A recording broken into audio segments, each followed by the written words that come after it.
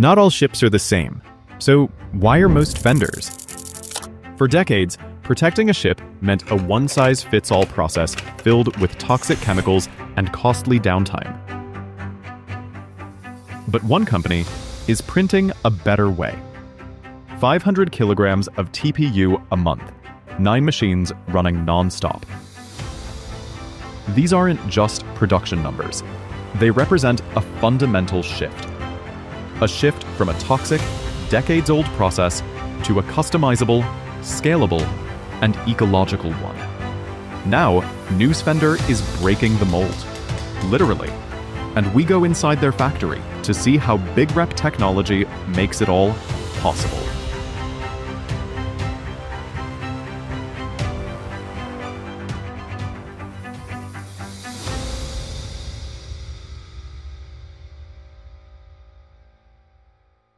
Hello, my name is Fernando Fortunato. I'm the CTO of Newsfender. In Newsfender, we do fenders for ships, fenders for rescue ships, for firemen ships, and we also do for docks and from ports. We are manufacturing, and developing materials for seats and cushions, for example, the one that I'm holding now.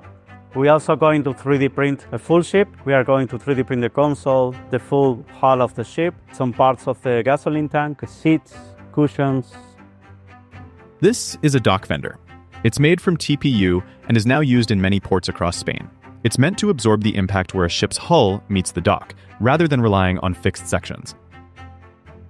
Because it's 3D printed and customizable, the engineers can simulate and predict how to reinforce it for the anticipated loads.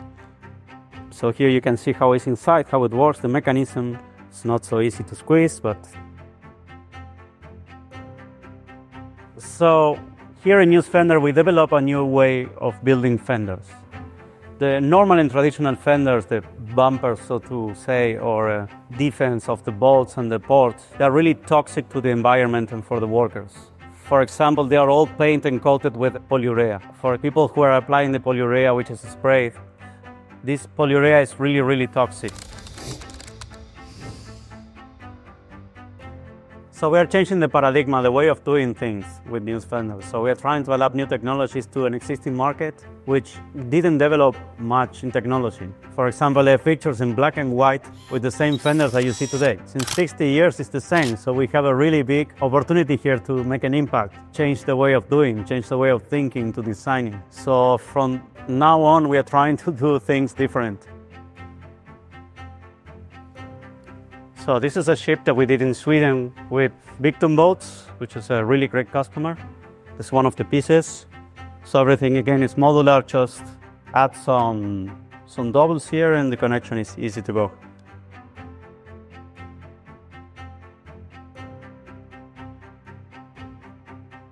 So we choose 3D print for many reasons. One of them is with the 3D printed we can customize. So if a customer want to change the shape or go crazy and design and shapes and forms and performance, we can just customize everything. We can change colors, we can do glow, we can change the harness. I can put two or three levels of harness inside of the fender. So we are working with the police and the Guardia Civil, and they love it because they mostly ram against another ship. So the fenders goes damaged, the form, and there is no way to get it back. So you have to replace the full thing. It mostly breaks always in the same parts, the fenders. So I make it more strong in that place. I make it more soft in the other way. I know what the people are going to use it. How can we go in eco materials that is a good solution for the fenders problems. And we discovered polyurethane TPU is one of the best things that we've found. We are testing with carbon fiber TPU. We are testing foam TPU that you can change the harness, depend, depends on where to use for cushions. This is glow in the dark TPU, which as far as I know is the first one in the world. We are doing our own blend of this because our glow TPU shines eight hours. So this, the normal ones is 20 minutes to one hour. We are, our ones are shining eight hours long. In their R&D department, they turn modular concepts into practical fenders. These pieces are for a 15-meter rescue vessel, printed in segments for prototyping and then assembled to check fit, weight, and performance. Engineers begin with digital models to predict how the parts will handle roughly 40-ton impacts, and simulations show where stresses occur. They tweak infill patterns and wall thicknesses until everything is ready for a full build. So what we're trying to do here is like more like a system of connections, like a puzzle. So these two pieces fit together. And for example, you will see here, we have always male and female connections, and they hold each other with a screw here on the ship. So here we are testing all these solutions about how to fit all them together so that we have a structural way of building.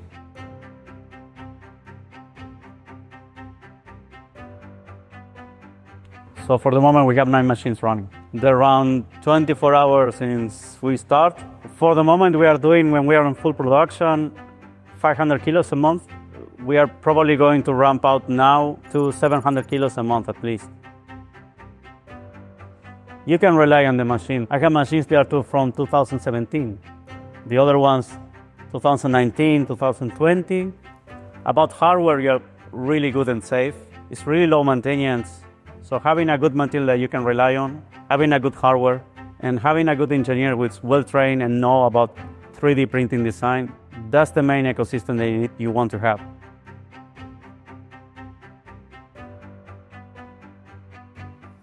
Here in our ecosystem, we're using Connect to send all the files back and forth to see how is the state, if it's printing, how it's going, and check on the cameras. And we also using Blade for the everyday life. So we are using here the VIIO machine, the newest from BigRep. It's so easy to use. You have a dry box, you have a filament change automatically. So everything is just so easy to set up. Also, one of the big advantages is we have the tungsten nozzle here, which we use it because we are printing uh, glow in the dark materials, which is quite abrasive for a normal nozzle, so I have to use only this machine for that. So you have a multi-material machines doing every shape that you want. You're just limited by the size, which in BigRep is not a fact, it's not a problem. It uh, doesn't restrict me on, on size actually. With nine BigRep machines running around the clock, Newsfender produces custom solutions with improved performance and without all the toxic materials, transforming fender production into a streamlined, low-waste process. Ports across Spain, and now beyond, are adopting these 3D printed fenders, and custom versions are also being fitted to a variety of vessels, showing that innovation can come from rethinking the smallest details. When every ship is different, every solution should be too. And with designs that let engineers tweak shape, shell, or firmness, the future of marine protection isn't just floating in harbors. It's being printed, one layer at a time.